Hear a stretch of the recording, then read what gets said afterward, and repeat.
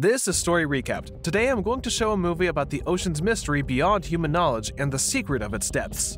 It's an action, horror, science fiction, and thriller called Underwater. Spoilers ahead, watch out, and take care. The ocean is a place that holds mystery like no other. Scientists and researchers alike confirm that most of it is unexplored and unknown to humans. The deepest point known to Earth is the Mariana Trench. Its existence attracted numerous studies and researches about the mystery it holds and life, if there are any. This film is a fictional take on the famous trench and the danger nature could hold if humans disrespect its boundaries. Kepler 822 is a research facility owned by Tian Industries who perform drilling operations in the Mariana Trench. Nora Price is a mechanical engineer who is also a part of the research team. While preparing for bed, she notices flickering lights in the bathroom and becomes suspicious of its source. Moments later, an earthquake hits, and Nora rushes outside to wake up the rest of her crew.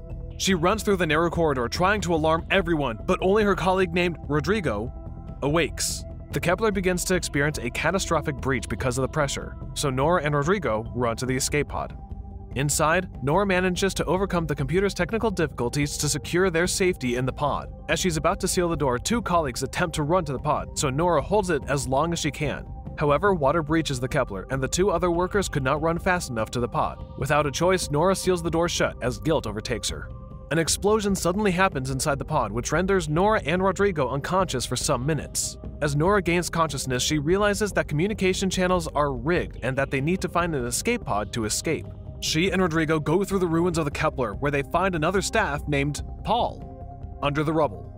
They rescue Paul by carefully pulling him up, and they continue to crawl through the ship's narrow ways. At that moment, Nora feels relieved to have rescued another colleague. Before they found him, she partially blamed herself for the ones they left behind. Despite Rodrigo's assurance that she's not at fault, Nora still feels responsible for lost lives. The film shows how Nora has dealt with emotional struggles in the past. At the beginning of the film, she has difficulty sleeping and claims that she has lost a sense of time, portraying her internal struggles. Shortly after, the three of them reach the control room where they reunite with Captain Lucian. Nora asks him about the nature of the problem, but he still has no idea what caused it. Altogether, they also reach engineer Liam Smith and biologist Emily Haversham, and they team up to come up with a solution. Despite their best efforts, they are still unable to contact anyone from above. Without a choice, their last resort is to walk a mile across the ocean floor wearing pressurized suits. Their goal is to reach Roebuck 641 and resurface from there, but this is not without risks. The team begins to prepare themselves as anxiety fills the room. The pressurized suits are heavy and bulky, but it aids in their survival as they descend into the unknown deep. Shortly after, the team enters a freight elevator, and the pressure enters at that instant. Rodrigo realizes that his helmet is defective, causing it to crack because of the pressure, instantly killing him. His suit explodes, but the surviving crew is helpless in his aid. The team reaches Roebuck successfully, and the captain sees a distress beacon from another escape pod below. It means that another survivor might be down there, so he sends Paul and Smith to investigate. The two immediately suit up and carry out a possible rescue operation even deeper. While descending several meters down, Paul and Smith hardly see anything because of the depth and darkness. Moments later, they find a corpse in the rubble, so Lucian orders them to come back up immediately. A sense of empathy is shown in this scene as the two froze over the side of the body. The scene becomes sadder when a family picture floats away from the body they just found.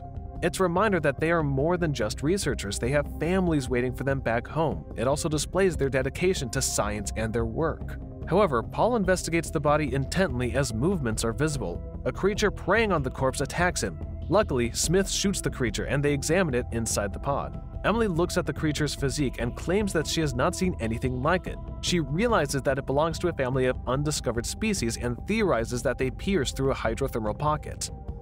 The pod's power suddenly shuts off as they hear mysterious noises from outside as if something is bumping into the pod. Scared, they all look at each other without having any idea what it might be outside. They see a tentacled creature from a window but realize that the Kepler is exploding, hence the tremors. The team makes their way to the pressure chamber as the pod hits the sea floor.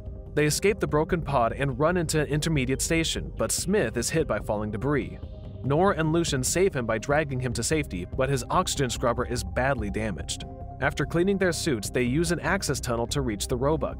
Midway through the tunnel, the water becomes too high for the machine to carry them, so they are forced to walk. Fallen debris blocks their way in one of the corridors, so they have to swim one by one to access the other side. Nora goes first, then Emily, Lucian, Smith, and Paul. However, Paul reports something that he saw from the other side that seems like a vicious creature. He also gets stuck in the debris, and out of nowhere, the unknown creature attacks him. It is evident in Paul's expression that something has been bothering him in their mission. Despite his fear, he chose to lead them to the narrow corridors. His selfless nature is portrayed in most of the scenes as he is the comedic relief. Another point of the film is how different the characters' lives are and how science unites them all. Aside from being great minds, their sense of camaraderie is present.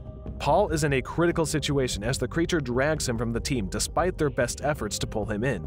The creature eventually drags one of Paul's limbs and kills him, leaving his suit bloodied. As they move forward, Nora and Lucian attempt to fix Smith's oxygen scrubber, but to no avail. With his suit defective, it might cause him to suffocate from the underwater fumes caused by the explosion. Unwilling to leave him, Nora, Lucian, and Emily agree to help him walk as an alternative. In the dark and unfamiliar seafloor, the team walks carefully to reach the Roebuck. However, they encounter a mysterious humanoid creature along the way and turn off their lights for safety. The creature drags Smith into a cave, so Nora and Lucian rush to his rescue. Lucian volunteers to enter the cave with the gravity of their situation, and he successfully ties the unconscious Smith to a rope. While Nora and Emily retrieve Smith, the creature captures Lucian, and the rope attached to him drags Nora in the process. They are now entirely separated from Emily and Smith in another section of Kepler's remains. The creature that they retrieved earlier is somewhat similar to the one they encountered in this scene. It somewhat looks like an offspring of the present one, but its name is never disclosed in the film. The creature seemingly preys on humans and is blood hungry. They take shelter in the remains of the Kepler and are seemingly disturbed by its drilling operations. Several creatures have suffered because of human exploration. It is even debatable that they did it in self defense or not. While Nora helps untangle Lucian from being unstuck, the humanoid creature reveals itself again. This time, it comes face to face with Nora and attempts to eat her helmet. Lucian rescues Nora by attacking and beating the creature, but it is too strong for him. The creature becomes more vicious and drags Lucian across the vast ocean. Still connected to the rope, Nora is dragged along while the creature swims at an unimaginable speed. She refuses to let go and leave Lucian, but the creature's speed also means their demise.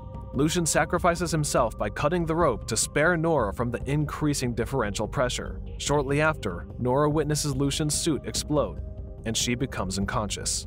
The alarm of her suit that indicates her oxygen levels awakens Nora. She finds herself in an abandoned unit of the Kepler called the Shepherd Station, where drilling operations once happened. Nora removes her suit and attempts to communicate with Emily and Smith, but to no avail. There, she looks through Lucian's old locker, where she finds a pentagram on an old blueprint of one of the initial drilling sites. In a race against time, Nora repairs her damaged suit before continuing to walk to Roebuck. While walking along the seafloor, she reunites with Emily, which gives the latter a sense of hope. Together, they drag Smith with them, who cannot walk because of his low oxygen levels. After countless steps, the team manages to reach Roebuck, the central drilling station. Tian Industries appears to be a powerful and wealthy corporation, however, their ethics are questionable. At the beginning of the film, their operations to explore the Mariana Trench are to extract resources. The Kepler has multiple levels and operates on a large scale, making the mission more detrimental to ocean life. Despite the dangers of the mission, they sent people and toxic chemicals to the ocean floor for profit. To their surprise, they stumble upon a nest of humanoid creatures hanging from the ceiling. As the creatures are in a deep sleep, they attempt to sneakily pass through them despite the danger. Unfortunately, the sound of Emily's oxygen alarm goes off and it wakes up one of the creatures. They continue walking through the nest, but the creature captures Nora and partially swallows her. While inside its system, Nora uses her flare gun to kill it, and in no time, she is free. After realizing that the flare gun has awakened the other creatures, she is puzzled as they are docile. Nora sees a silhouette of a much bigger creature that seemingly rules the ocean floor from a distance. She fires the flare gun to get a better look, only to discover that the creatures are spawns of the ancient and titanic creature, the Cthulhu. Nora runs for her life and she successfully reaches the escape pod bay safely. Emily helps her remove the heavy suit as they have access to the oxygen inside. While the team attempts to reach the escape pods, the Cthulhu continuously attacks the station. After several bumps and hits into the corridors, the three of them make it. However, Nora realizes that only two pods are functional, which means that one of them will be left behind. She does not let anyone know about this as she and Emily securely launch Smith to the surface. Emily realizes that Nora is about to sacrifice herself. Still, the latter convinces her to be with Smith to safety. Because Emily and Smith are in a relationship, Nora knows that she will rob them of a happy life if she does not sacrifice herself. Among the survivors, she understands love and grief the most. Throughout the movie, she constantly brings a picture of her and her late boyfriend who died in a diving accident. Since then, she has been searching for her life's new meaning, but to no avail. She persuades Emily to launch the pod before it's too late, before reminding her that Smith needs her. Alone, Nora stares at the Cthulhu and the creatures outside the station, accepting her fate. She monitors Emily and Smith's ascent before deciding to blow up the station to kill the creatures, the Cthulhu, and her. She initiates an overload of the station's nuclear core, which renders a massive explosion, killing all forms of life, including her.